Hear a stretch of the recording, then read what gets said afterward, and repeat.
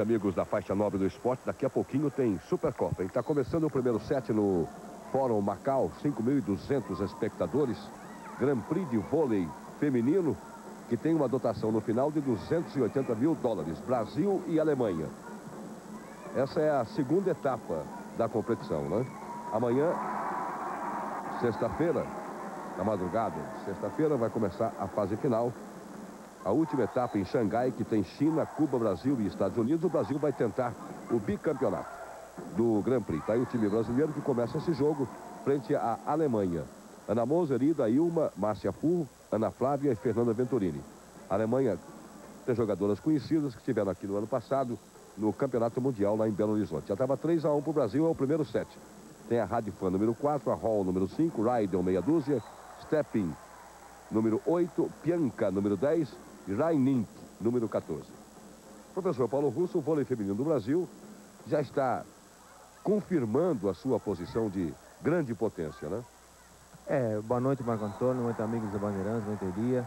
E realmente esse jogo aí para o Brasil serviu pra, principalmente para acertar algumas jogadas de meio, tá? principalmente Ana Flávia, que está, está voltando à sua forma ideal, e principalmente o encaixe da Ana Moser, Quer dizer, a, a movimentação da Ana Moser, que é muito importante, principalmente para essa fase final, Marco. E esse jogo, a Ana Moser, inclusive, foi uma das melhores. Ela atacou 23 bolas, fez 6 pontos e eh, fez 8 rotações da quadra contra a equipe alemã, que é a mais fraca realmente desse Grand Prix. A gente deve lembrar que o Brasil venceu a primeira etapa, que foi aqui em Belo Horizonte, e a quarta etapa, que foi no Japão. E já faturou aproximadamente 200 mil dólares, né? E agora quer faturar 280, né, Marco? O primeiro colocado leva 280 mil dólares. Veja aí o rally do primeiro set. A batida de entrada e o bloqueio da Márcia Fu. E a alemã não deixou cair, mas veio de graça, hein? Olha a Fernanda, bola atravessada. Grande corredor, hein? Corredoraço da Ana Beatriz Moser. É o primeiro set. A terceira etapa foi disputada em Hamamatsu, no Japão. Brasil, Cuba, Japão e Rússia foram os participantes dessa etapa. Aviãozinho, hein? Um toque na entrada da rede, bola muito profunda, tá aí a Ana Flávia. Já em plena forma refeita da cirurgia, estava 4 a 2 para o Brasil, era o primeiro set. Estudadinha, mas bem de leve, né? E tome aí uma no contra-ataque brasileiro, mas o bloqueio alemão funcionou. O ataque de fundo, tá aí a Heidel, Jacqueline Heidel. E no saque, a Heinink, Joana Heinink. A Ida sempre atenta aí para fazer essa jogada de meio, fez a desmico e já foi para o serviço. Aí a Ilma com a levantadora Fernanda Venturini. 4 a 2 para o Brasil, o primeiro set. Esse jogo foi rapidíssimo para o Brasil. Saque da Ilma em diagonal longa. Olha o contra-ataque brasileiro. Marcia Fu chamou o contra-ataque da Ilma, hein? Tenta se realinhar o time alemão. Uma bola baixíssima, hein? bem que a Ilma mergulhou, mas foi impossível. Técnico Bernardo Rezende.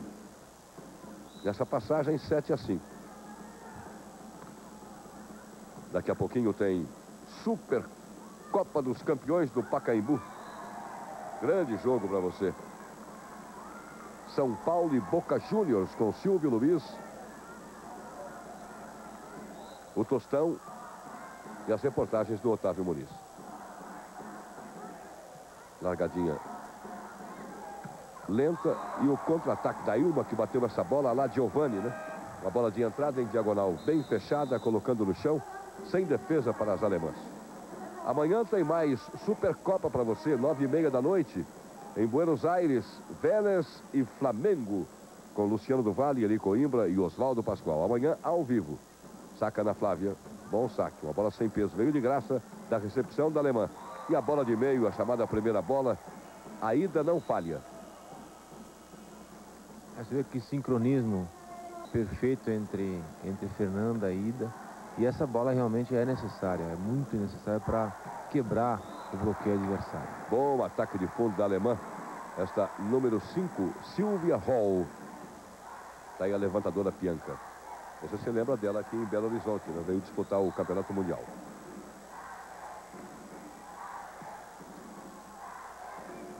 Torcida brasileira, a galera Band Vôlei Internacional, está lá em Macau.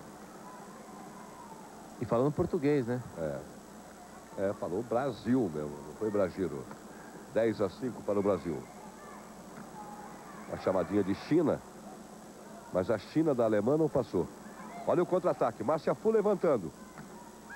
Ataque de fundo do Brasil está bem acionado ali pela posição 6, no meio da defesa, não é, professor Paulo Russo? É, pela maneira que o Brasil faz a defesa, então, por exemplo, a levantadora fica numa das alas, fica na, na, no, do lado do antigo saque, na posição 1. E as atacantes ficam na posição 5 e 6, mas a 6 é o que tem mais espaço dos dois lados, quer dizer, a trajetória da bola para contra-ataque é menor ali, então por isso que aparece bastante por ali. Sacou a Inês Pianca. Uma espetadinha da Fernanda para Ilma. Bloqueio triplo não pegou? Ilma, Fu e Ida. Por que em algumas passagens neste jogo, já por duas vezes nesta edição, a gente viu a Márcia Fu levantando, professor? É com a coincidência de, de troca de bloqueio, né? A, a Fernanda foi para o lado mais baixo, né? não que ela bloqueie mal, mas foi uma tática. E quando a Fernanda defende, tem que ter alguém que, que, que levanta. Então foi definido a Márcia Fu, que é a jogadora que fica cruzando com ela em diagonal. Então ela sempre coincide, quando a Fernanda defende, ela uh, levantar essa bola. Tá aí o professor Paulo Russo. E a Márcia, nas duas vezes, variou, né? Chamou o ataque de fundo da Ilma pelo meio, uma bola atravessada. É, o jogador hoje, Marco Antônio, principalmente no feminino, com tanta técnica que tem, é obrigado. A bola chegou acima da cabeça, tem que saber levantar. Não é uma chutada, não é inventar muita coisa, mas com precisão tem que saber levantar. Stepping. Yuti Stepping bateu esse corredor. Tá aí a Pianca, Inês Pianca. Daqui a pouquinho, nove e meia, Pacaembu, Supercopa ao vivo, São Paulo e Boca, da Argentina. Silvio Luiz, Tustão e Otávio Muniz. Amanhã tem, de Buenos Aires, Vélez e Flamengo, com o Luciano, com o Eli e com o Oswaldo Pascoal. Pianca, Tentou a primeira bola, deu meia trava, vai dar contra-ataque, afunda! Márcia Fu bateu de entrada. Errou o corredor a, a jogadora alemã. Foi a Radifan, Constance Radifan. Saque da ida. Tentou uma casquinha nessa diagonal longa. Sacando aqui da posição 5. Mas a quadra acabou. Daí a Constance Radfan. Fernanda. Pegada de esmico da FU. Empina Ilma. Uma batida de entrada da ida. Olha o ralinho do jogo. E a Ana Moza, hein? Na largadinha estava longe a cobertura, hein? Ficou muito plantada a pianca. E aí a Ana Moser só largou chamado Totozinho, a pingadinha da Ana Moser. Bela defesa de corredor da Ilma. Olha a Ana Moser. Hum, ela quis repetir a largadinha, mas errou, né? Não tocou com a ponta dos dedos, foi com o dorso da mão direita. Então, é, a bola dessa vez a rede. bola não chegou ideal, né? Ela chegou muito curta, espelhada na rede. E Ana Moser tentou usar o pulso né? Jogar uma, bola, uma bolinha bem diagonal, mas não deu certo. Um contra-ataque perdido. 13 a 7. Primeiro set. É um compacto do Brasil e Argentina pelo Grand Prix na fase de Macau. Perdão, Brasil e Alemanha. Argentina daqui a pouco do Pacaembu, o Boca Juniors contra o São Paulo pela Supercopa. E amanhã, Argentina, Vélez e Flamengo com o Luciano do Vale, 9 e meia, também Supercopa. É, resta a bola de China, atacante da Alemanha. Um ace do Brasil, hein? Raisbein e chucrutes da mão de criança. Né?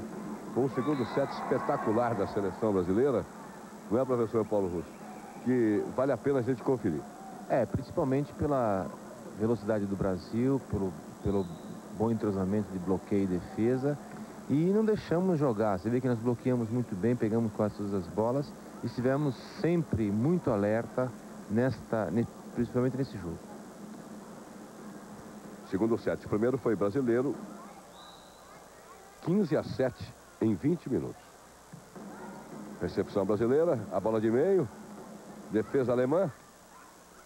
Olha o bloqueio aí.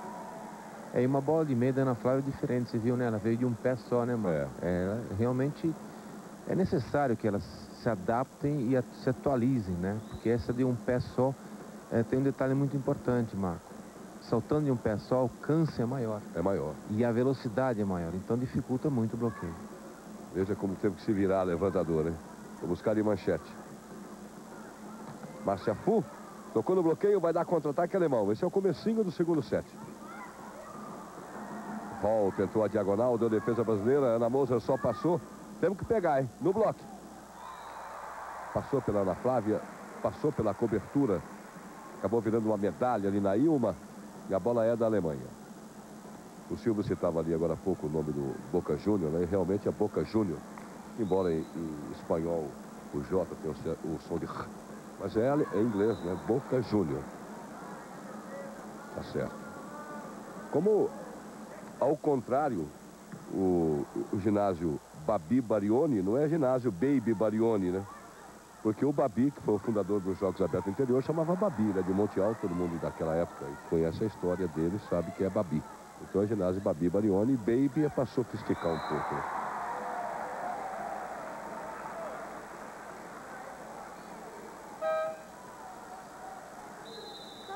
Bonitinha a Graf, né? É, a Graf é a jogadora mais jovem da equipe. Uma jogadora que jogou o campeonato juvenil, europeu, inclusive. E a Alemanha está tentando realmente acertar uma equipe, mas realmente nesse Grand Prix, em todos eles, a Alemanha foi praticamente a alegria de todas as equipes. Todas as equipes é. treinavam contra a Alemanha que elas não conseguiram vencer nenhum jogo até agora. Você viu também ali uma que não estava no primeiro set. A Hart. E já o técnico da Argentina, o Kohler, achou que já... Diga, Paulo. Não, você citou a Argentina, acho que você está a com o Sul-Americano. Estou querendo, foi, né, tô querendo ver logo o jogo do Boca Júnior. Não, eu quero ver logo o Boca Júnior com, com o Silvio Luiz e com o Tostão e com o Otávio. Alemanha. O técnico Kohler já tirou ali a número 18, a Graf. É, já está 12 a 1, você vê. É, 12 a 1. De perguntar, como é que o Paulo Russo sabe que está 12 a 1 se não apareceu? É que ele viu no placar lá em cima, né? Com letras verdes. É, tem que enxergar longe. Stepping 13 a 1 para o Brasil agora. A ida. Saque complicado, bem difícil. Veio de graça. Vamos pegar? A Ida se desculpa porque o bloqueio fez a sua parte. A Namosa amorteceu, mas a cobertura da Ida não funcionou. É, e na quadra está a Sandrinha Surogi, é. que entrou para fazer um, bloqueio. A Radfan vai ser substituída.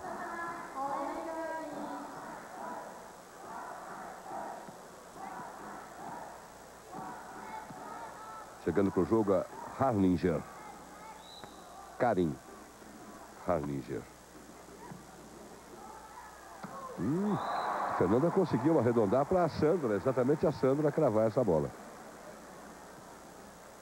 Torcida brasileira ali enfeitando. Uma moldura bonita, 13 a 1. E a Márcia Fu estava procurando o, set point. Orei, orar. O Brasil está botando para quebrar. Ih, tá aí o set point do segundo set, que durou 19 minutos. Por enquanto está 14 a 1. Oh, tá aí, você viu. Márcia Fu, concentrada. Daqui a pouquinho, São Paulo e Boca no Pacaembu com o Silvio Luiz. Supercopa. Ana Moza, né? A recepção ajeitou o contra-ataque da Ana Moza. E o Brasil fechava 2 a 0 o segundo set em 19 minutos, fazendo 15 a 1, festa da galera Bandivôlei Internacional. O primeiro foi 15 a 7 em 20 minutos, o segundo 15 a 1 em 19 minutos. Brasil e Alemanha. Jogo disputado no Fórum de Macau, perante 5.200 espectadores.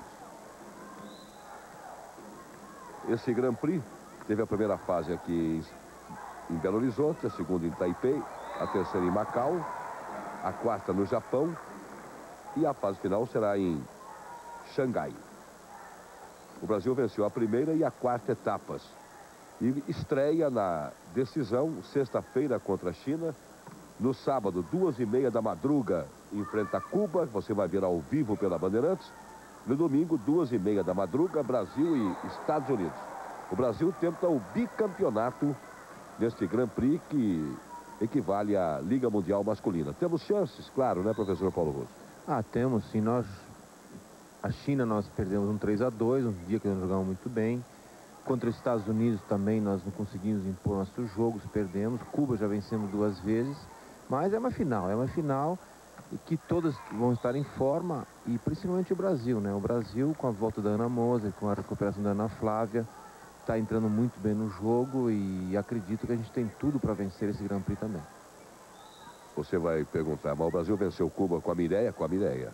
Não jogou a Regla Torres uma das partidas, mas a Mireia jogou. Estava 1 a 1 nessa passagem aí do terceiro set. No jogo estava 2 a 0 para o Brasil. Veja que a diagonal bonita de entrada da Ilma, que não deu para Heinink fazer a defesa. Ficou se lamentando aí a garota da Alemanha. E o Brasil estava virando o terceiro set. Veja a Sandra. Bola chutada na entrada. Quando foi feita a defesa, a Ana Moura até desanimou. Ficou se lamentando, né? Mas a cobertura funcionou perfeitamente lá no fundo. A ida foi buscar, né? Segundo ponto brasileiro, continuava sacando a Sandra. Daqui a pouco do Pacaembu, Supercopa da Libertadores da América, São Paulo e Boca Juniors. Transmissão ao vivo da Band com Silvio Luiz, Tostão e Otávio Muniz. E amanhã, de Buenos Aires, ao vivo, nove e meia da noite, Supercopa. Vélez e Flamengo. Com o Luciano, com Eli Coimbra e com Oswaldo Pascoal.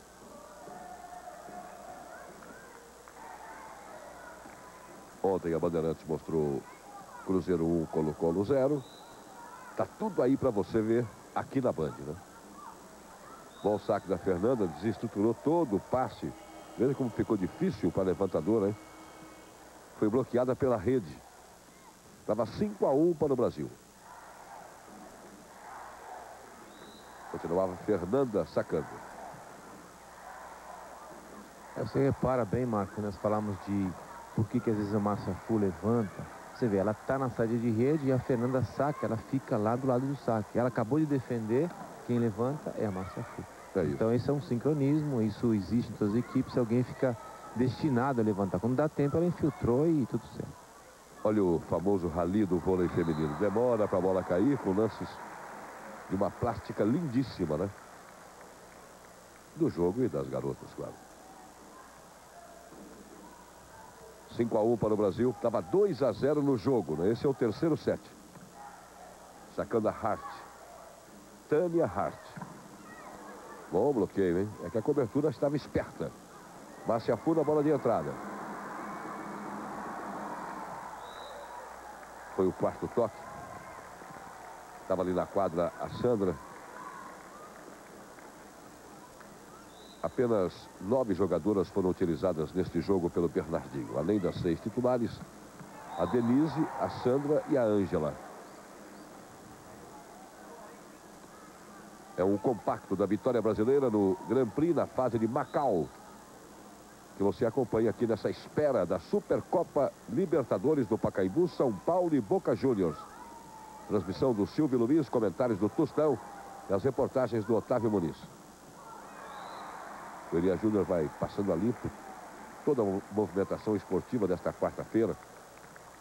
Tem campeonato da Europa. Temos a rodada do Campeonato Brasileiro. Né? Você já sabe que o Atlético está vencendo o União em Araras por 1 a 0. Gol do Renaldo, por enquanto. Né?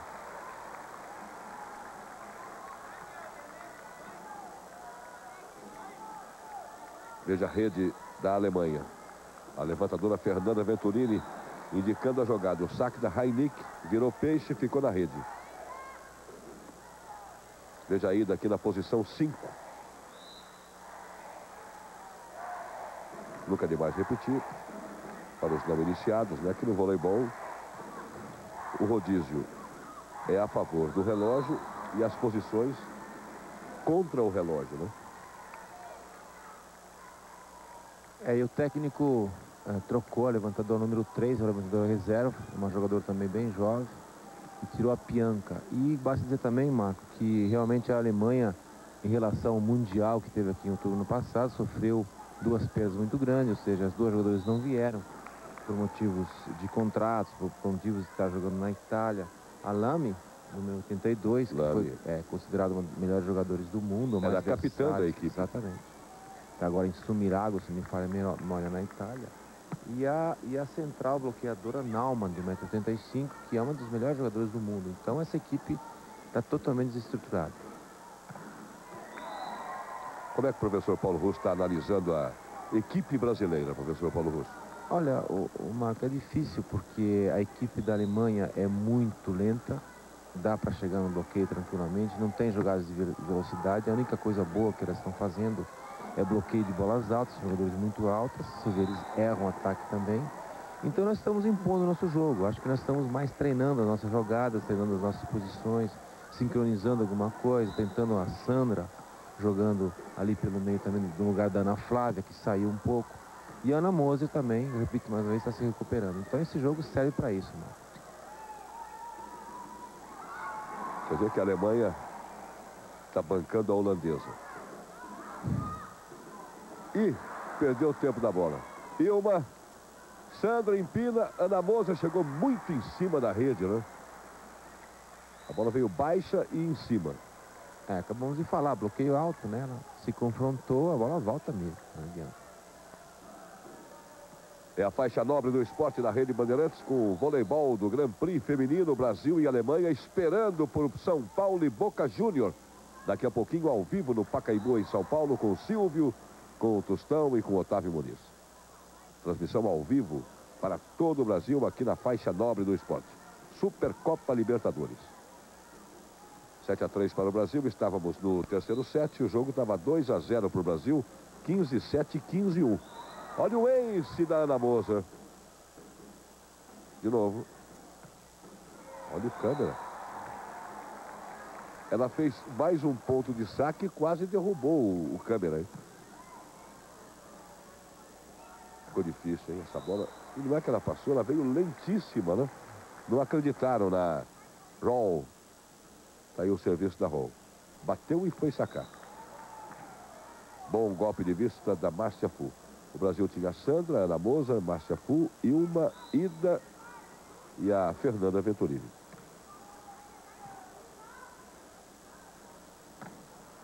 Estava descansando a Ana Flávia, que jogou os dois primeiros sets. Apenas no finalzinho do segundo fez uma passagem a Sandra.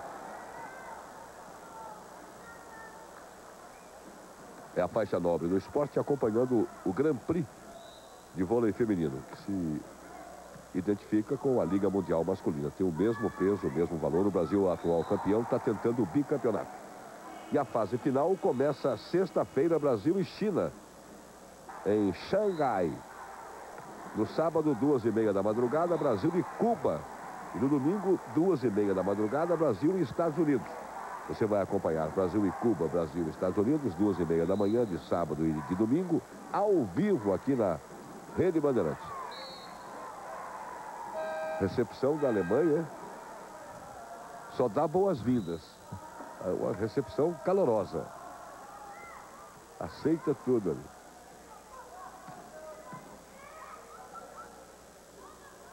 Bola muito empinada, veio lenta. Contra-ataque, Fernanda.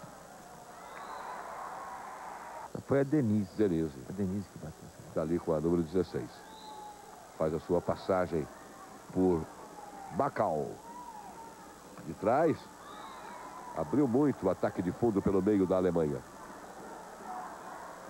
Estávamos aí no match point, 14 a 3 e neste ace o Brasil fechava o jogo. 15 a 3 em 17 minutos. Foi tudo tempo de tie break, né? 15 7 em 20, 15 1 em 19, 15 3 em 17 minutos. Brasil 3, Alemanha 0. Sexta-feira começa a fase final e o Brasil tenta o bi. Esporte é aqui na Band.